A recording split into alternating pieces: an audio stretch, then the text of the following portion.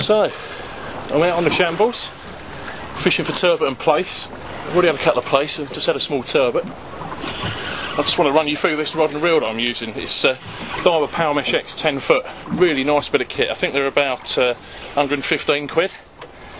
The reel I'm using, um, it's the Exceler S 4000. Ideal bit of kit for this sort of fishing.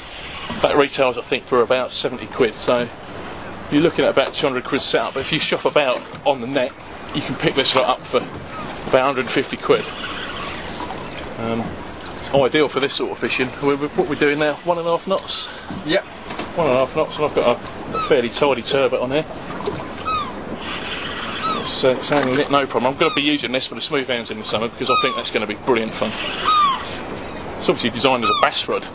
Um, you can see it's pretty fast taper, but there's a hell of a lot of power from, well, just the lower section, really. Hell of a lot of power in there, but um, for 150 quid, this rod's going to do you pretty much for all your summer fishing, unless you're going to be going for rays and I'd even chance this on a tope, to be honest with you. I don't think I'd have much problem getting a 50 pound tope in unless there's a hell of a of backbone in it.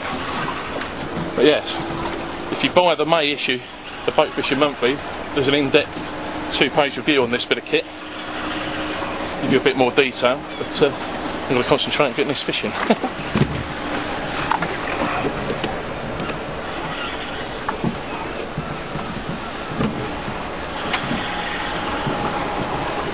Comes the leader. There he is. Do that. For you, John. I know. Right, so. Nicely done, sir. Nicely done. Be about seven or eight now, I'd say. Nice fish.